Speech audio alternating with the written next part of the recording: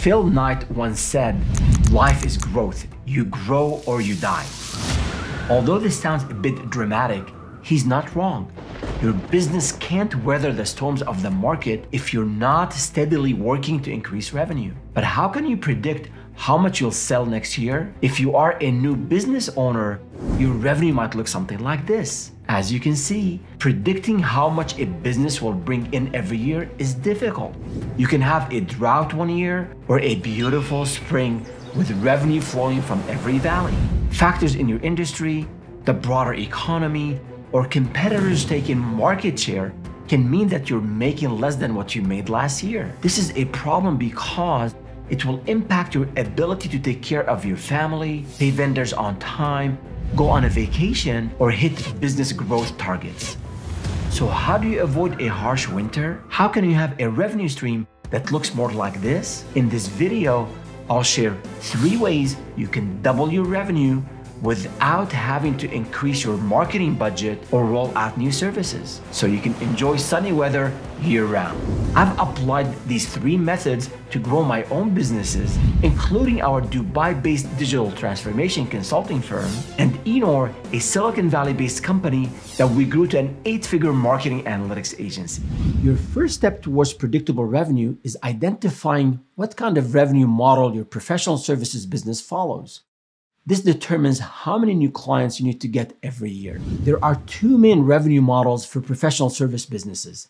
The first is a project based model, and the second is a recurring model. They're not mutually exclusive. Some businesses have a mix of both revenue models. Let's briefly clarify the difference between the two.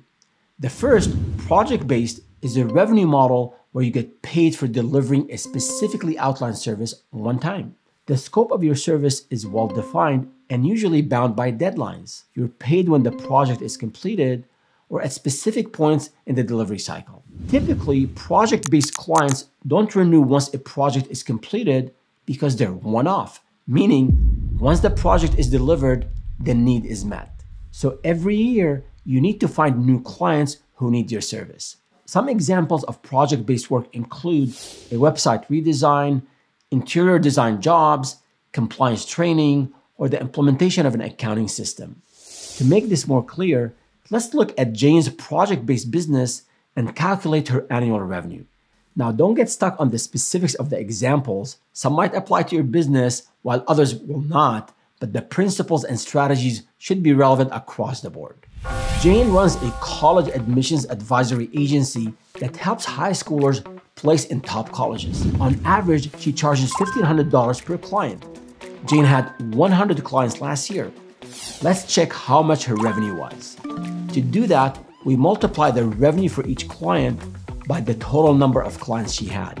Doubling her revenue means $300,000.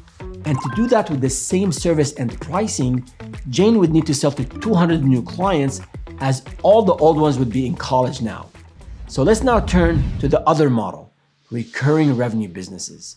This way, we can move on to the actual ways you can double your revenue. In the second model, your services are delivered at a specific cadence weekly, monthly, quarterly, or annually, with billing typically occurring monthly or annually. But regardless of the delivery or billing cadence, the idea of a recurring revenue model is that the service is ongoing. It's intended to renew, unlike project based services, which are one off. For example, a cybersecurity firm that sells annual security audits or a tax preparer who prepares yearly tax returns should expect many or most of their clients to come back to them every year. This means that you should have a lot of clients rolling over year to year and only need to find clients to fill the gaps for those who left. More on this in a bit. To make this more clear, let's look at another example of a recurring service business and calculate its annual revenue. Ravi runs a marketing agency that focuses on email marketing. Ravi's business charges $125 per month for email deliverability monitoring. That's $1,500 for each client annually, and Ravi had 100 clients last year. $1,500 multiplied by 100 total clients equals $150,000 in total revenue per year, just like Jane's total annual revenue. But unlike Jane's one off college admission service, Ravi's email service is needed on an ongoing basis. His services are recurring. If Ravi wants to double his revenue to $300,000 next year, he would need to add only 100 new clients to his 100 existing clients. That's half of the new clients Jane needs to add. Realistically, though, the math for recurring revenue models isn't quite that simple. To correctly calculate a recurring business's revenue, you need to account for churn. Churn is the rate at which existing clients don't renew their contracts. Churn rates vary widely across different industries. Although some research indicates a yearly average of about 5.6%, I've personally seen 20% and higher for some businesses. Let's say that Ravi experiences 10% churn. This means that 10 of his existing 100 clients won't renew next year. So if he wants to bring in $300,000 next year, he'll need to account for those 10. This translates into Ravi needing to plan for 110 new clients instead of only 100. If your business is new and you don't have data to base your churn rate on, be conservative in your planning and assume a higher churn rate. In a year or two, you'll have enough client history to project your own churn rate more accurately. As a pro tip, you should aim to minimize churn by providing outstanding service. I sometimes see new business owners experiencing high churn because they let business development activities compromise service to current clients. As the founder of a services business, devote energy towards finding new clients, but always balance this with working hard to delight existing clients. It's your obligation and it's critical for stability and growth. But then again, remember that some clients may just not like how your tie looks and won't renew with you. So don't beat yourself up too much for every client who does not renew. Now that we've reviewed the project based and the recurring revenue models, let's turn to the three strategies to double your revenue. We'll use Jane's project based model as our example moving forward, but the growth approaches could equally apply to recurring models as well. If you can't remember, Jane's revenue last year was $150,000. To double her revenue to 300K next year with the same service and pricing, she'd need to close 200 new deals. So now we will try to get 200 new clients by applying the three strategies to Jane's business. The renowned American marketer John Wanamaker is famously attributed with the quote, Half the money I spend on advertising is wasted. The trouble is, I don't know which half. Our first strategy to increase revenue is pretty straightforward, but easier said than done. The strategy is to get more clients. Although getting more clients is not a revolutionary thought I'm sharing, it's a hard thing to pull off without increasing your marketing budget or rolling out new services. It's very possible to reach more clients by analyzing and optimizing your marketing efforts and finding out which half of your marketing effort is wasted. To start, you need to identify where your leads and closed deals originate from.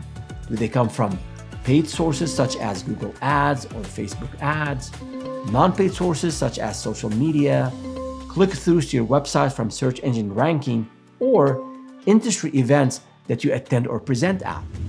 To pinpoint where your leads and closed deals are coming from, keep your CRM or customer relationship management platform up to date. If you don't have a CRM yet, it's okay. Use a spreadsheet for now. Regardless of the tool you use, I can't emphasize the importance of tracking leads and sales enough. A web analytics tool such as Google Analytics can also help you understand which traffic sources are generating leads for you. Please see the links in the description for our videos on CRM and analytics. Let's check out Jane's lead sources. When Jane looks at the lead and sales data in her CRM and cross-references her marketing spend, she sees this breakdown. This data shows where Jane's leads are coming from. By studying this, Jane can decide to pull back money or effort on the channels that aren't performing as well, double down on the channels that are performing best, or look into new channels. Because the cost per acquisition or CPA for the Facebook ads was very high, Jane decided to pause it and put the budget towards attending some more college fairs. When Jane attended the fairs last year, she had learned some new things. She had spoken with owners of other businesses in her space, such as services to match high school athletes with college athletic scholarships, and learned of two other tactics that these business owners have been using to generate good leads. These were hosting webinars and setting up a client referral program. Through her conversations with these business owners, Jane also learned more of what it takes to execute webinars and referral programs. Jane decided to try both of the approaches for next year and manage them herself.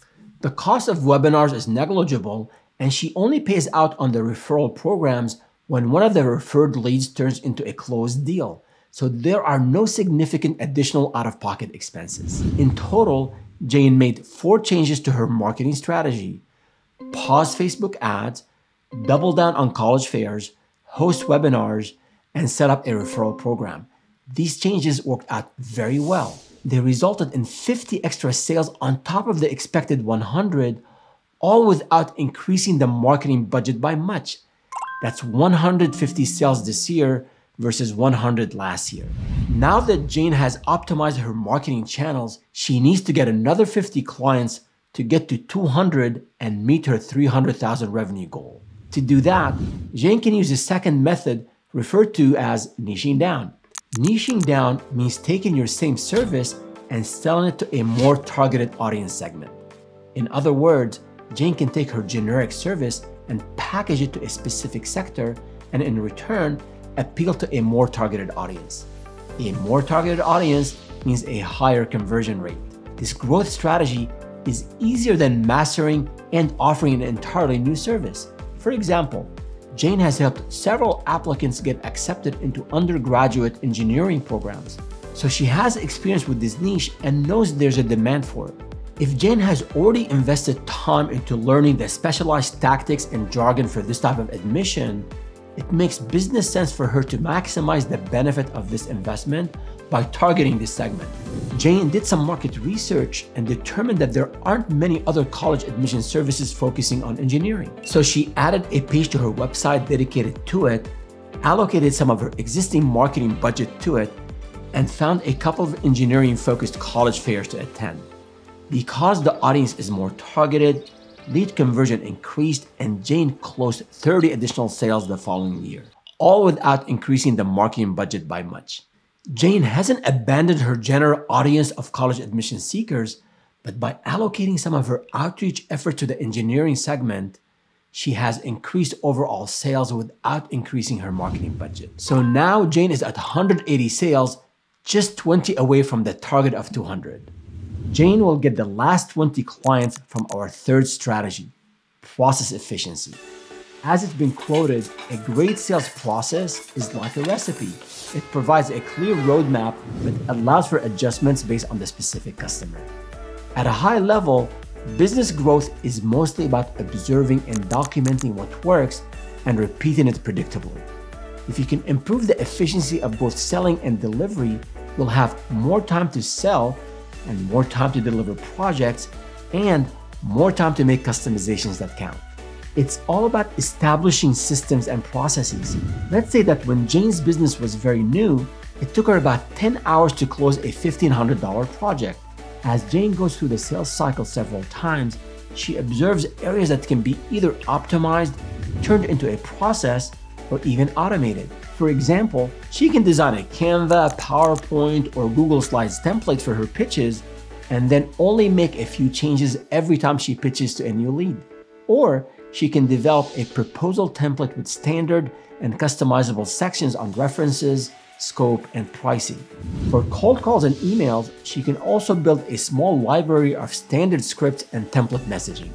After Jane implements some of these efficiency measures, her average time spent on closing a deal looks more like this.